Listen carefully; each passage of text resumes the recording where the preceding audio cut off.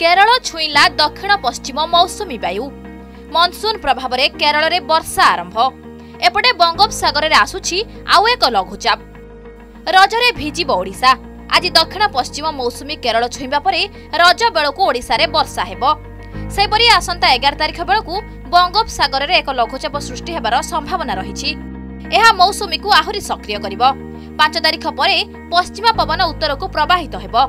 ଦଶ ବେଳକୁ ଘୂର୍ଣ୍ଣିବଳୟ ଓ ପରେ ଲଘୁଚାପ କ୍ଷେତ୍ର ଉତ୍ତର ବଙ୍ଗୋପସାଗର ଓ ସଂଲଗ୍ନ ସ୍ଥଳଭାଗରେ ସୃଷ୍ଟି ହେବାର ସମ୍ଭାବନା ରହିଛି ଆଜି ମୌସୁମୀ ବାୟୁ କେରଳ ଉପକୂଳକୁ ଛୁଇଁଛି ଆମେ ଆଶା କରୁଛୁ ଏହା ଧୀରେ ଧୀରେ ଉତ୍ତର ଆଡକୁ ଅଗ୍ରସର ହେବ ପୂର୍ବାନୁମାନ ରହୁଛି ଯେ ଏଗାର ତାରିଖ ପାଖାପାଖି ଗୋଟିଏ ଲଘୁଚାପ କ୍ଷେତ୍ର ସୃଷ୍ଟି ହେଇପାରେ ଉତ୍ତର ବଙ୍ଗୋପସାଗରରେ ଯାହାକି ଏହି ମୌସୁମୀ ବାୟୁକୁ ସକ୍ରିୟ କରିବ ଏବଂ ମୌସୁମୀ ବାୟୁ ଦ୍ୱାରା ହିଁ ଏହି ଲଘୁଚାପଟି ସୃଷ୍ଟି ହେବାର ସମ୍ଭାବନା ଅଛି ଏବଂ ଏହା ମୌସୁମୀ ବାୟୁ ଓଡ଼ିଶାରେ ପ୍ରବେଶ କରିବ ଏବଂ ତଦ୍ଜନିତ ବର୍ଷା ହେବାରେ ମଧ୍ୟ ସାହାଯ୍ୟ କରିବ ଅନ୍ୟପଟେ ଆସନ୍ତା ଚବିଶ ଘଣ୍ଟା ମଧ୍ୟରେ ରାଜ୍ୟର ମାଲକାନଗିରି କୋରାପୁଟ ଓ ନବରଙ୍ଗପୁର ଜିଲ୍ଲାରେ ପ୍ରବଳ ବର୍ଷା ସମ୍ଭାବନା ନେଇ ଭୁବନେଶ୍ୱର ଆଞ୍ଚଳିକ ପାଣିପାଗ କେନ୍ଦ୍ର ପକ୍ଷରୁ ସୂଚନା ମିଳିଛି साउथ उड़ीसा में मेनी प्लेसेस में कई स्थानों पर हल्का से मध्यम बारिश हेवी रेनफॉल भी एक दो जगह में हुआ है नॉर्थ उड़ीसा में हल्का से मध्यम बारिश थंडरस्टॉर्म का साथ एक दो जगह में हुआ है हाइस्ट बारिश जो मिला मोहना,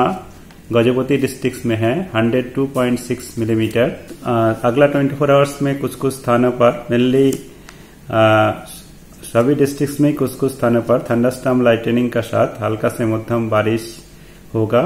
और हेवी रेनफॉल भी एक दो जगह में हो सकता है, कोरापुट, मलकानगिरी, नवरंगपुर डिस्ट्रिक्ट का अंदर।